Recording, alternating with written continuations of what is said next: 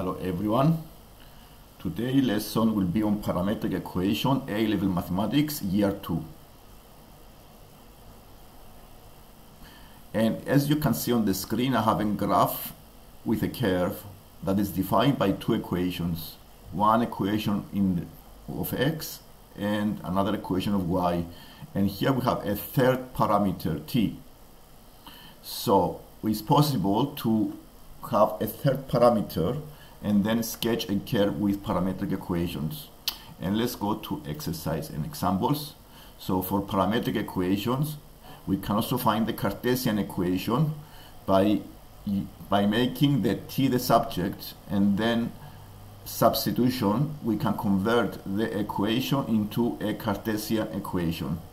The domain of the function in Cartesian form is exactly the range of the function x the x equation and the range of the Cartesian form of the function is the range of the y equation of the parametric equation.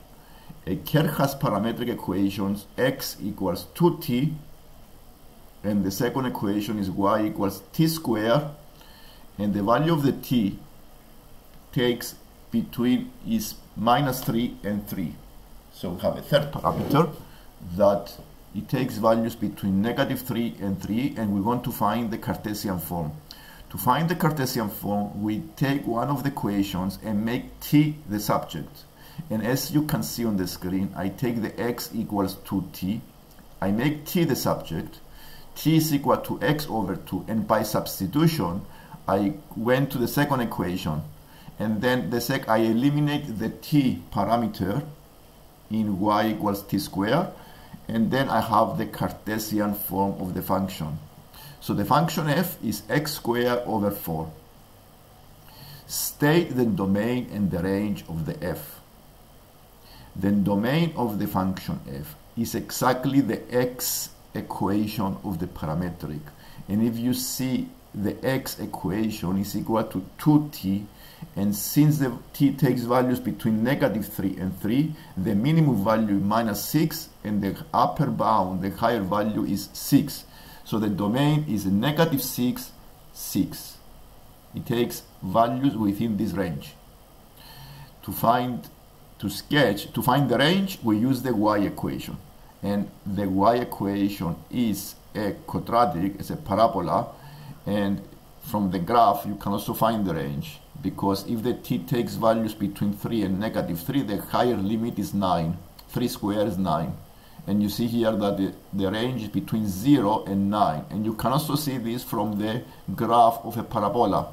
In case you don't want to use the equations you can also use the graph of the parabola. And this is as you already know the x square graph is a u-shaped graph in this way so we see that it goes up to my up to 9 on the vertical axis. Okay so you go and sketch the graph. So here is the 9 and the here on the x is the 3 and here is negative 3 this is one possible question on parametrics and you here you can see the graph of the parabola. See the function is x squared over 4 and then it's a parabola. So the x equals 6 the function f give you a 9 see the domain is 2 times 3 so it's 6 the domain and then the function will be 9 okay. The second example I have here is two equations defined as x equals ln t plus 3 and the second is y equals 1 over t plus 5. Find the Cartesian form. I need to use one of the equations and make t the subject. I take the ln of t plus 3 equals x. Then using the properties, I make, I eliminate the ln. e to the power of x equals t plus 3. So t is equal to e to the power of x minus 3. And by substitution, I went to the second equation and I found the Cartesian form. So it is 1 over e to the power of x plus 2. The range of the function, as you can see, I need to see on the second equation of the y, y equals 1 over t plus 5. and you can find the range by using the least possible value of the t, the lower bound. The lower bound of t is negative 2 and if you can see here the negative 2 plus 5 is a plus 3 that is why I have the upper bound of the function because this is the reciprocal graph and the lowest possible value for the domain for the t give you the upper bound of the function is 1 over x. So the range of the function since it doesn't get negative values doesn't go into negative values you have 0 and 1 third this is the range of the function. Here we have a exercise on parametrics a curve we have these two equations x equals square root of t y equals t times 9 minus t and the t takes values between 0 and 5 we want to find the Cartesian equation. To find the Cartesian equation we need to make t the subject by using the x equals square root of t equation we square both sides and therefore the t is equal to x squared Using this value of the t, I use substitution, I go to the y equation and I found the Cartesian form as y equals 9x squared minus x to the power of 4. To find the domain, we can find the domain using the x equation. The x equals square root of t, and since the t takes values between 0 and 5, then domain will be between 0 and square root of 5. To find the range, we take the y equation, and since the t takes values between 0 and 5, the values of the range, it will be 0 and 20, because 9 minus, minus 5 is 4, 4 times 5 is 20. So we found the range and the domain using the equations.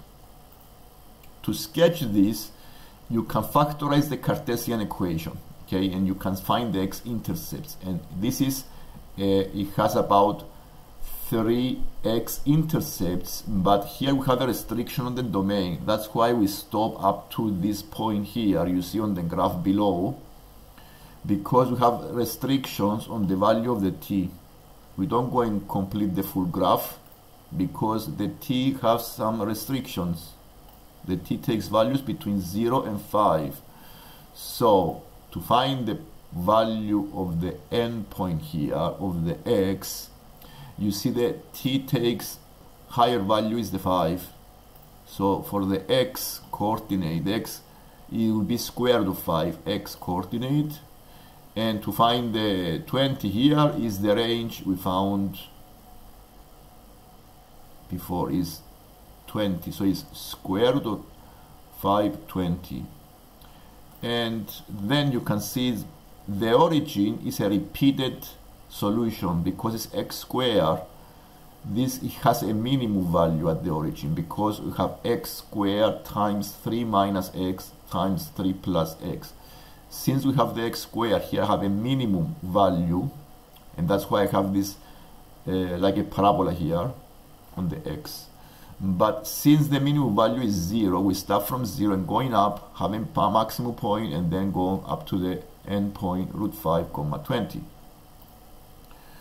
the other equation I have the other exercise I have I have these two curves the C1 and the C2 that are defined by parametric equations. These two curves are defined by parametric equations and here we need to show that both of the curves are exactly the segments of the same straight line to show this, we need to find the Cartesian form of the curve 1 and the Cartesian form of the curve 2 and show that they have exactly the same straight line. This is how you show that both curves are segments of the same straight line. So we get the two equations from the curve 1. We make substitution to find the Cartesian form.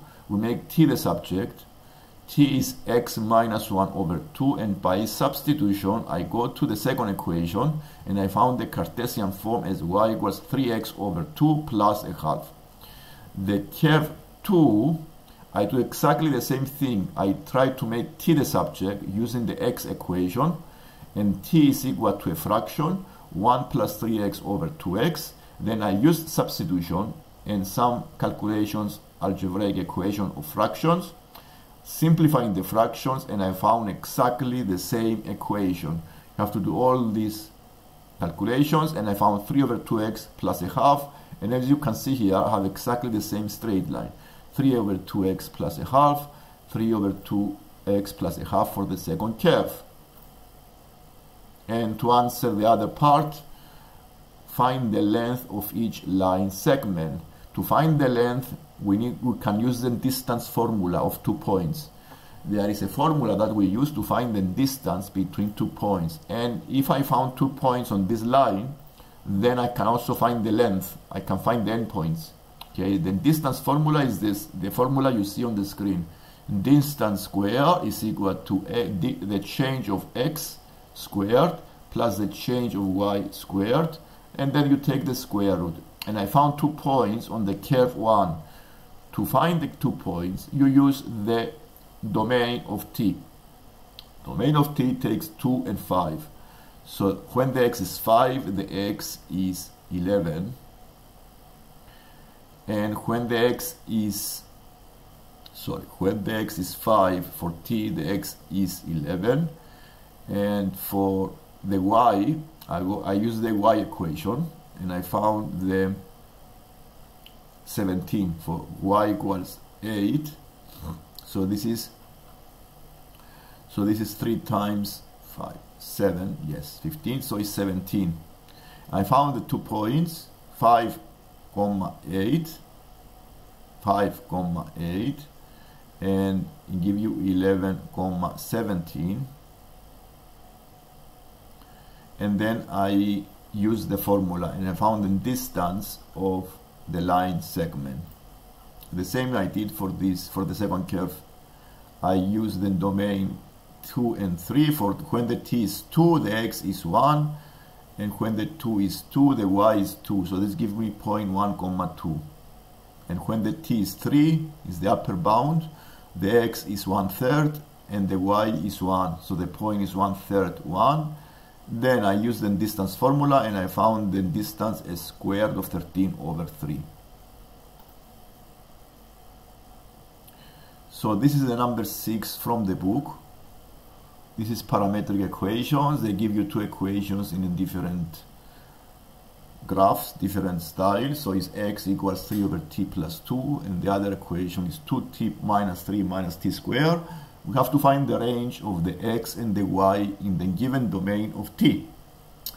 So to find exactly the range of x, if you check the graph of the x, is a is the reciprocal graph plus 2, which means it's a vertical translation of the reciprocal graph.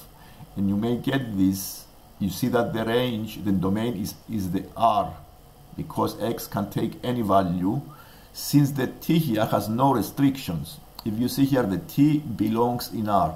The R is all the real numbers. So it can take any number, negative, positive, decimals, any number. So if the t has no restriction, then this has no restriction on the function x. And since it is a reciprocal graph, then the x is, the domain of the x is R as well. And to find the domain of t, yes and the range of y if because this is a parabola then graph of 2t minus 3 minus t square is a parabola. We can find the maximum point of the parabola by completing the square. This is what I did here on the screen. And I found the maximum point is 1 comma minus 2 this is a maximum point. I have the graph here this is the graph that shows the maximum point. And since it doesn't go higher than negative 2, the range of the function of the y need to be f, the y less than or equal to negative 2. To show, to find the Cartesian form, we do exactly the same thing by substitution of t into the y. So we try to make t the subject using the x equation, and I found the t is equal to a fraction 3 over x minus 2 and by substitution into the second equation I found the y by using all these algebraic fraction calculations algebraic fractions combining the two fractions the three fractions and factorizing I found the last fraction which is the Cartesian form. Minus 3 bracket x squared minus 6x plus 11 over x minus 2 bracket squared another exercise here on parametric equations is x equals 3 squared of t and the y equals t to the power of 3 minus 2t when the t takes values between 0 and 2. You have the graph on the right hand side. So we need to find the Cartesian form. To find the Cartesian form, we make t the subject by squaring both sides of the equation of the x, and the t is equal to x squared over 9. I use substitution into the y, and then I have the equation of the function x to the power of 6 over 729 minus 2 over 9 times x squared. And then the to find the domain we do exactly the same thing okay to find to answer the part b to answer the part b i need to show that the derivative dy over dt is equal to 0 when the t is the square root of 2 over 3 here I need to find the dy over dt by differentiation. Then I have 3t squared minus 2. I make this equal to 0 and I found that t is a plus square root of 2 over 3. To find the range of the function, you see here I have a minimum point. So this minimum point gives you the lowest possible value of the function. So you can find the minimum point by taking the t value here because this is a stationary value. If I make the derivative equal to 0 then give me the minimum or maximum value of the function. So this is when the t is square root of 2 over 3 so to find the y value I use the y equation and I found the low the lower bound. So it's minus 4 root 6 over 9 and this is the lower value so you can go higher than this one the range so if you like the lesson and you want to subscribe and like the video so you can see more lessons like this and then you I can I post videos on different levels and different topics in maths, GCSEs, A level and you can uh, give any comment and to answer your questions. Thank you. Bye.